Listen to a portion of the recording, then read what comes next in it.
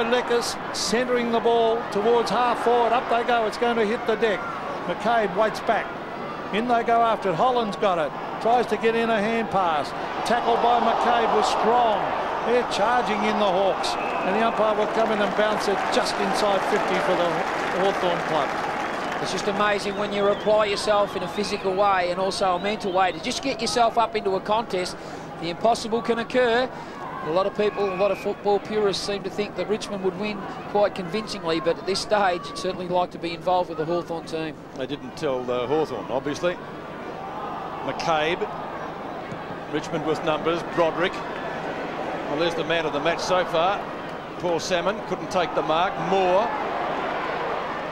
First disposal. Gale. Not a great disposal. Good block by Crawford. Shane Crawford, that is sees it over the boundary line and the Hawk fans in front of us are pleased with that effort, a throw-in to take place on centre wing. It just typifies when you do fumble, it's amazing how the pressure doubles. Just way weighted numbers again, terrific stuff by Crawford, putting Gale. that physical pressure and also Croad. Sorry, Mick, Gale trying to get front position over Salmon there. It shuffled out the back to Prescott, ridden into the ground by Croad. The ball jarred free in the tackle, comes to Barker. Long kick to half forward, Turner Harrison, now Krummel, had it and lost it, might get a second go, gets it to Lord, needs to be quick with the kick. Puts it up for the breeze to take, won't quite take it far enough. Holland caught behind. Ball past uh, Bowden it was, Crawford. Umpire says free kick Hawthorn. Yes, the free kick was certainly there. It was helped probably by the positioning. The umpire is directly behind the tackler in Kellaway. As we see here, the ground level ball was picked up by Dixon driven straight in the back. Ben Dixon kicked a goal in the first quarter. Probably could have had two, but the second effort came and uh, he got a goal from close in. This one had hurt, wouldn't it? It would. Oh. After Crawford's already kicked one in this quarter. Not an easy shot under windy conditions. Kick from 45. He likes it, and the crowd likes it. It's a goal. He's second. Yeah, certainly a terrific start. It was interesting to see the last time these two teams met was Hawthorn who jumped into the game and quarter time was seven goals to one. And Richmond finally clawed their way back after uh, being led by 21 points at three-quarter time. They got over the line by just on a kick. This situation, they'd want to turn it around fairly quickly, otherwise the game will be well and truly gone.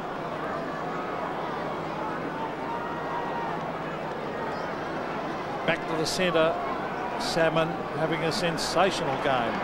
The best man on the ground at the moment. McCabe couldn't grab it. It's given out by Campbell to Knights, but look at the pressure put on. Woods has it taken away by Broderick, but he's gang tackled by a couple of them. Look at the tackle on Campbell too.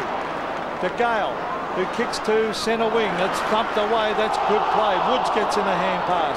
Knights working hard. No, it's not. It's Platt gives it across to Chaffey. They need a couple of quick goals. It's at half forward. Richard Taylor takes it away and drives it long to centre wing. Clap underneath it, takes a safe mark. He gives it off to Campbell. Here they go through Harrison. The Tigers a chance here as he transfers play out to Richardson. He's dropped it. He's got pace. He's caught there by Trelevin and the umpire's played holding the ball as he attempted to kick. I think he missed it, Richardson.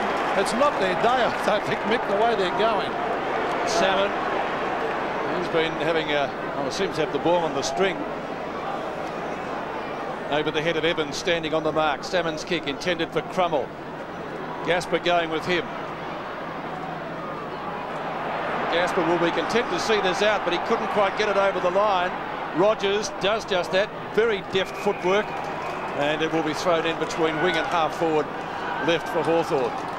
18 to 9 the tackles. I was just going to say, Pete, there's no doubt Hawthorn have gone in with a theme today, Operation Tackle, because they are ruthless in their approach to dispossess the Richmond team when they gain possession. Kick comes from Broderick down towards Powell, who marks on centre wing. Prescott at right half forward, should and does give it to Campbell.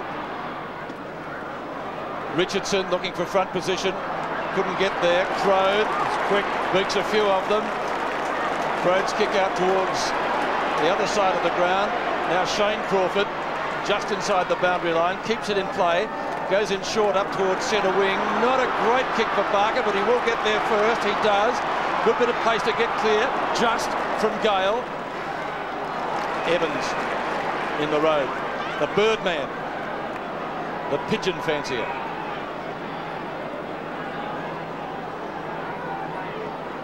Played in two premiership sides with Springvale. Kellaway from Broderick. That is, uh, well, not much to gain from that. Moore gives it back to the boundary umpire. Throw it on centre wing. The Hawks by 33 points.